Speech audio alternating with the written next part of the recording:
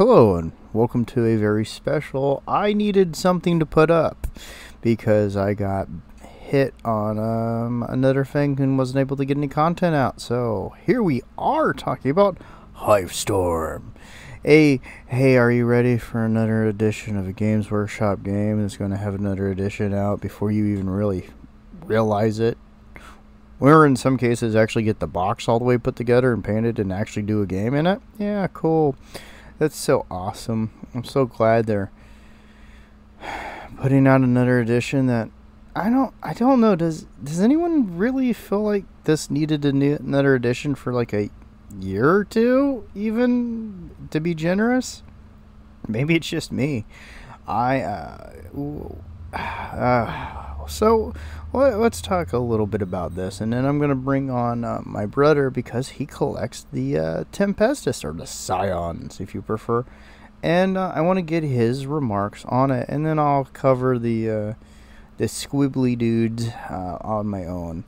But uh, first off, I gotta say this: I like the style of the cover for this box. It's it's nice use. They're using the traditional market uh, way of putting orange in something because orange always gets eyes and a darker color. I like the uh, the side profile of the Scion. I really do like the Scion's unique design, and uh, thumbs up from that. Um, it's good that the uh, the Tau are going to eventually have a update to a unit that's been kind of lingering since just before or just after I started playing, I believe this unit came out. Nah, it's even old, younger than that, but it's been a long time. Let's just say that. And uh, I, I'm just gonna be honest. Really, another edition. It's really not at all what we needed. So let's go from there and let's get uh, that opinion in there. So let's jump on over. Hey everybody, welcome to the next part. This would be for Farvithian Guard's opinion on it because he actually collects Tempestus. So uh, let's go through them real quick, huh? Alright, so apparently I'm looking at the Tempestor and the Gunfighter. That's like your sergeant. Yeah. Uh, the Gunfighter looks uh, pretty standard to me for the Tempestus, apart from the fact he is using a pistol, and most of the ones I've got so far, well, two pistols, are carrying, you know, bigger two-handed weapons. The jump packs a little funky looking on both of them, but you know, it is what it is. The sergeant's not too bad. I dig the sword. So do you do you like the kind of slight re uh, refinement they've done to the armors and helmets? I don't hate it. I'm not gonna lie and say I don't like the older ones a little better, but I don't dislike these. But these They're are just different. They are jump infantry. Yeah. All right. So we got the uh, gunner or marksman here. Gunner. So the kid on the gunner and marksman are more what I'm used to with the Tempestus guys. Uh, a lot of them, you know, if you don't know, carry like the big laser guns and uh, you know heavy heavy artillery like grenade launchers and that kind of they're, thing. Uh, they're big on what I remember uh, hot shot las yeah, rifles. Hot shot las guns and grenade launchers are like their big thing. All right, the so next set, this kind of falls in. I really like the Grenadier. The precursor, kind of neat. Looks like a uh, looks like a female model actually. I think they're probably going to have female head options. Yeah. Um, so you got you don't see female Tempestus too often, usually because Tempestus don't take their fucking helmets off for any reason. So yeah. I'm gonna call this one while it's kind of neat, kind of an oddity, because it's always been a standard thing that Tempestus don't remove their helmets. But sure, whatever, I can re-roll with it. Now, the Grenadier, I'm. I like the model on one hand because yeah, he's covered in grenades, which is funny. I don't know if I'm digging that fucking helmet. I think they wanted it to look different. I kind of like it, but I also like the idea that these guys will look a little bit more like inquisitorial troops. So. Yeah, I guess that might work for that case. So, not my favorite one in the kit, but it's not awful. All right, let's move on next to the troopers. Troopers.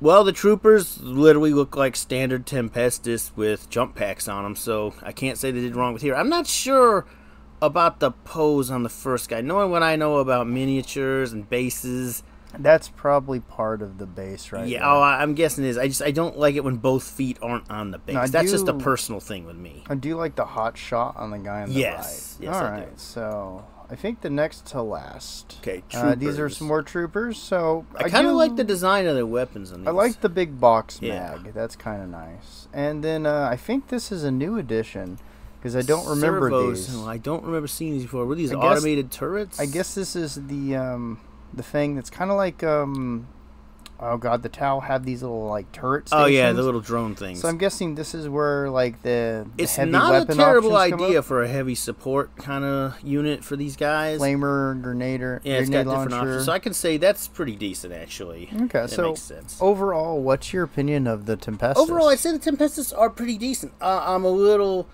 off by a, on a couple of the designs, but you also got to remember I'm not the most supportive of GW recently. But from a guy in my position who's actually collected these guys before, they're pretty decent. A couple of hiccups in the design, but I'd say I like them. All right, and I think that some of that's just because they're they're jump guys. Yeah.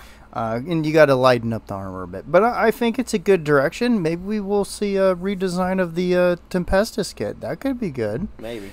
All right, thanks for joining me. Let's uh, we'll be moving on to the next step now.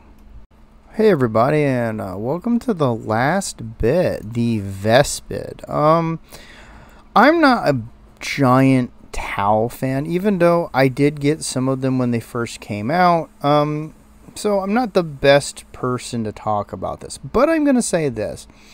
I think the models as a whole, as uh, we we look at them, are pretty well done. They're definitely a needed upgrade to the old Vespid kits, um, which kind of lingered for a a good long time at this point. And I got nothing really bad to say about them, um, though a couple of them, like in the Warriors, have kind of a goofy face going on. They look like they're just really glad to be there. Um, but overall, they're proportioned pretty well. They're fairly dynamic. They're very orangey yellow, which is kind of nice. Um, I think it's nice to see that this unit's getting a uh, revamp. So, for you Tau players, uh, let me know if this is a good upgrade or a, a bad one. Um, will we be seeing them in your armies? Yada yada. So, um, I'm just going to top it off and say this. Um, it has been ridiculous the pace of additions recently. It just feels like every time you turn around, there's a new edition of that game and this game. And I go, is this a sustainable model? And I don't think it is. I think there needs to be a slowdown and a bit of a reconsolidation. And I am working on a video talking about how I think restraint needs to be brought into these things. And I'm not even going to talk about the, the various different uh, bits that show up in this box or any of that because you're going to make up your own mind. It either be you don't need terrain, the terrain looks fine, or eh, I don't care. Give me X model or Y model. Um, I think we just kind of entered into just too much in terms of turnout of models and things.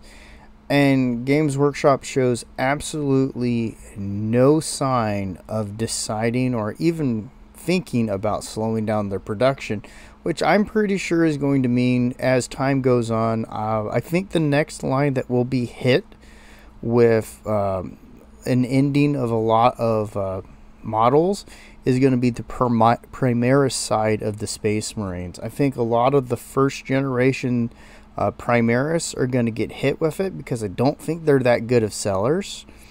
And I think Games Workshop just will want to get them off and be like, no, get rid of the guy in the the blow up sumo suit and the dip wad with the jetpack and two heavy bolters. And they'll just move on from there. But I think we're going to see some more lines getting called in the near future. So, you know, prepare yourself, buy the things that you are most interested in. But man, is anyone else at a point where we're just beyond fatigued with this never ending uh, barrage of edition after edition? If so, hey, let me know. Give me a comment in the bottom and I'll talk to you later. Bye bye.